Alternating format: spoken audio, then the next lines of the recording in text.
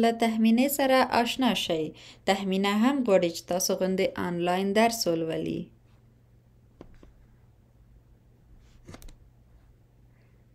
مګر نه پوهیږي چې له کوم ځای څخه یې پیل کړي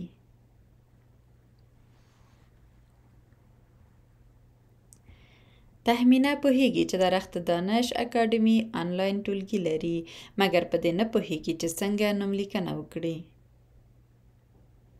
تاسو پوهیږئ چې څنګه نوم لیکنه وکړئ باید په پیل کې یو اکاونټ ځان ته جوړ کړئ او د درخت دانش کورسونو کې د ننه شئ او د خپلې خوښې کورس لپاره نوم لیکنه وکړئ اوس مهال درخت دانش اکاډمي درې انتخابونه لري د درخت دانش کتابتون د درخت دانش کورسونه د درخت دانش درسي ټولګي د درخت دانش د اکاډمي درسي ټولګي وړیا دي او هر کله چې تاسو وغواړئ ګټه ترې اخیستلی شئ د درخت دانش د کتابتون زده کوونکو ښوونکو او نورو ټولو ته د شته درسي سرچینو سره سره نورې سلهاوې مختلفې مقالې او کتابونه او څېړنې ته زمینه برابروي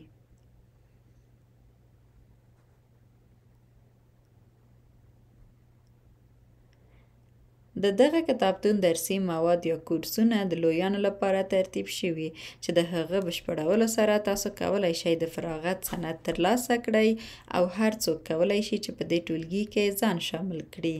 د درخت دانش د کتابتون د ټولګي یو محتوا په انګلیسي دری او پښتو ژبو ستاسو په چوپړ کې ده د درخته دانه ټولګي د هغو زده کوونکو او ښوونکو لپاره چمتو شوي دي چې نشي کولای په فزیکي توګه ټولګیو کې حاضر شي. اوس مهال لپاره نوملیکنه انتخابي ده. د درخته دانش ټولګي د افغانستان د تعلیمي نصاب په اساس مخته ځي.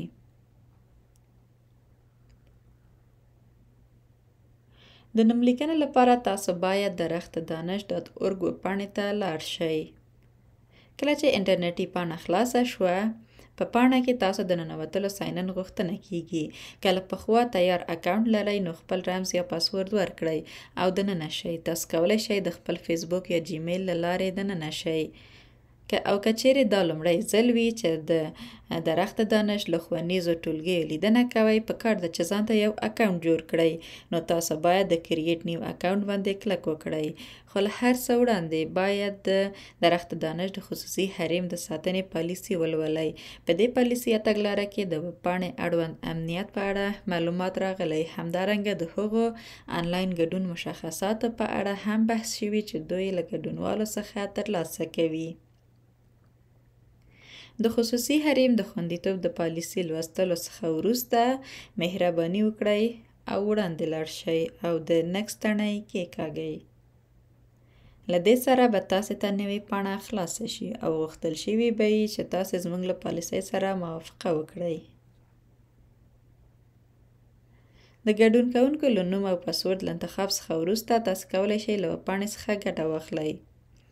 پسورد مو باید له تورو عددونو شکلونو او سمبولونو داسې یو ترکیب وي چې نورو ته یې پیدا کول ستونزمن وي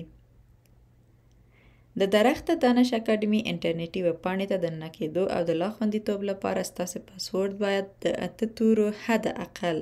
یو عدد یو کوچنی او یو غټ توري او یا هم نور سمبولونه ستوري هشتګ خط څخه ترکیب وي د نوملیکنې په لومړی فورم کې د نوي اکاونټ جوړولو لپاره موږ ستاسې لومړنیو لنډو معلوماتو ته اړتیا لرو او که د امنیت په اړه اندېښنه لرئ اړینه نه ده چې نوم او یا هم اصلي استوګنځي مو په ډاګه کړئ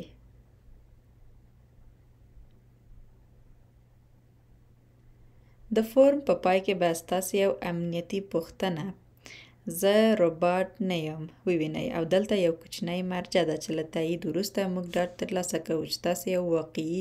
ګډونوال یاست نه کوم الکترونیکي یا کمپیوټري دستګاه چې هڅه کوي زموږ سیستم ته دننه شي د دې پروسې وروسته ممکن له تاسو د یو تصویر په چوکاټ کې اضافي پوښتنه هم وشي د بیلګې په توګه په چوکاټ کې د بایسکل او یا هم اجزا یې انتخاب کړئ. په دې مرحله کې هڅه وکړئ چې بایسکل ته ورته عکسونه او اجزا یې انتخاب کړئ او وروسته د نکس تڼه یې کېکاږئ. په دې وخت کې تاسو دویمې مرحلې ته دننه کېږئ چې موږ ته ستاسو او د یوې کمپیوټري دستګاه ترمنځ توپیر کولو تشخیص لپاره زمینه برابروي په دویمه مرحله کې هم همغه مربوطه چوکاټونه انتخاب کړئ او د تایید لپاره نکس تڼۍ کېکاږئ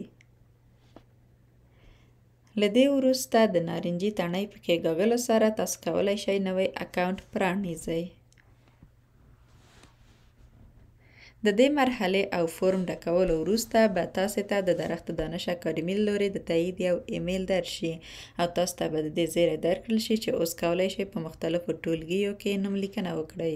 د خپل کورس د انتخاب لپاره د ښوونیزو ټولګیو ته دننه شئ. د کوچنیو نښو څخه په استفادې سره خپل د خوښې وړ عنوانونه او د بېلابېلو ټولګیو تصویرونه پیدا او انتخاب کړئ. د خوښې وړ ټولګي پیدا کولو وروسته پر سرلیک باندې کلک وکړئ. اوس نو د ټولګي لومړۍ پاڼه خلاصه ده او ستاسې مخې ته پرته ده. په دې کې به تاسې د ټولګي په اړه بشپړ معلومات، د یادولو لارې چارې او هغه څه چې د ټولګي تر پایه به یې زده کوئ ووینئ. اوس نو د صفحې لاندې برخې ته ښکته شئ او د زما نوم لیکنه پیدا کړئ او د دې له کیکاږلو سره ټولې مرحلې ترسره کړئ او درس ویل پیل کړئ. مبارک د درخت دانش د ښوونیزو ټولګیو ته ښه راغلاست.